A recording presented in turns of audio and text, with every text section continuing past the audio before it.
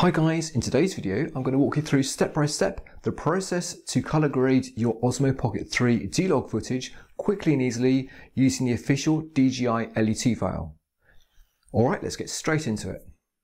Okay guys, in this video we're specifically looking at how do we convert our footage that we've recorded in D-Log on the Pocket 3 and get it to look normal um, that we're used to seeing with the sort of bright colours and the contrasts and for using on our YouTube videos or footage or whatever we want to do. Now that actually process, rather than calling color grading, is actually to be really color conversion because we're converting from the D-Log M color profile, which has got billions and billions and billions and billions and billions of colors, to um, Rec 709 standard, which is pretty much associated with T high definition TVs. It's been around for a number, a number of years. And so that's Rec 709 color profile is uh, you know what we're used to seeing with our sort of naked eye effectively like you know look, it looks right it looks normal. So you know the contrast and the saturation and stuff like that. Whereas of course D-Log M looks much more sort of flat because it's got a whole, whole load of colours that even our human eyes can't, distinguish. Alright now just before we go into the process um, how you can do it I'm just going to give you a very quick background um, information if you're interested. If you're not interested in, in the actual part of the history then you, know, you can fast forward and to the timestamp I'm going to display right now to get straight into what you need to do. So the color grading process is actually made up of effectively kind of three uh, sub-processes I suppose.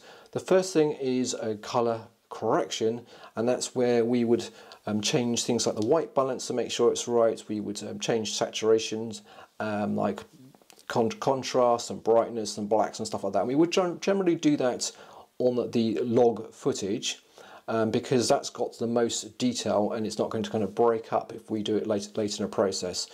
If you're a photographer, you might be used to things like a RAW file from like Nikon or Canon and something like that. So kind of the D-Log um, footage is kind of the equivalent of your RAW footage on your photography, where you would make changes to that first of all, and then you would convert it to JPEG for people to display on their devices. So the Rec 709 color profile it's a little bit, you know, as, as if it's a comparison of having like a JPEG uh, picture which can be displayed on pretty much all devices. And that's our kind of our final goal. Once we've done the conversion to Rec 709, the final stage in this optional is where we actually um, provide our kind of look, I suppose. So if we want to, for example, um, increase the blues or increase the reds or make it a little bit more grainy, um, just for our specific movie or video, then that is the true color grading process. So we kind of grade from Rec 709 to our final look. But of course, most people aren't interested in, in doing the third stage and they're probably not actually that interested in doing the first stage either. So I just want to go straight from Pocket 3 straight to Rec 709. So that's now where we're going to talk about how to do it. Okay, so now that we've downloaded the, the uh, LUT file, we need to go to Wondershare Filmora, which I have open here.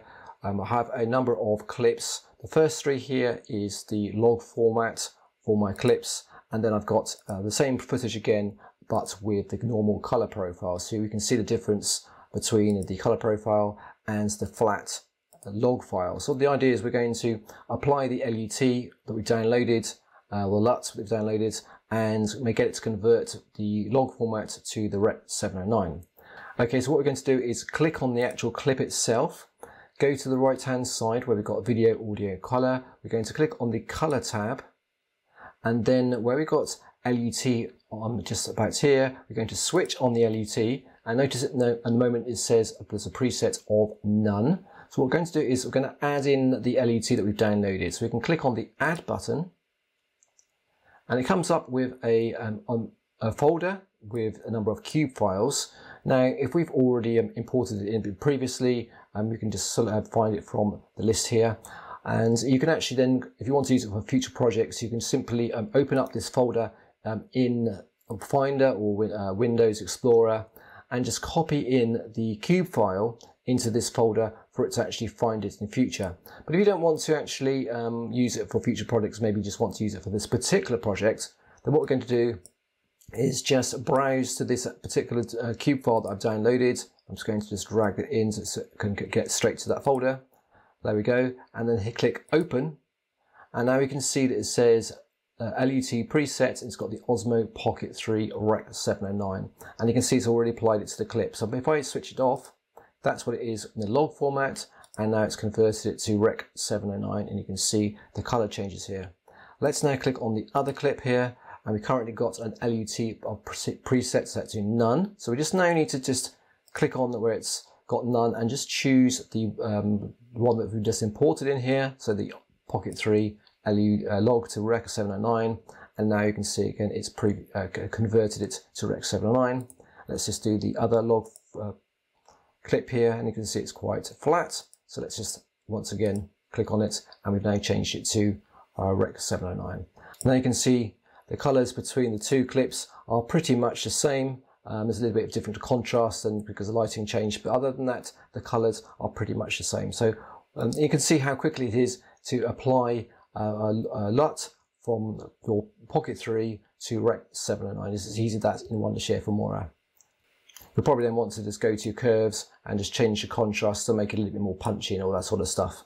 Okay, so that's how easy it is to import uh, the Pocket 3 uh, LUT from DJI and to convert your footage from Pocket 3 to Rec 709. Okay guys, I hope you find that video useful and if you do of course give it a good thumbs up and of course if you have any questions let me know in the comments and if you can subscribe to the channel for more tips and tricks like this it's much appreciated. Take care and see you soon.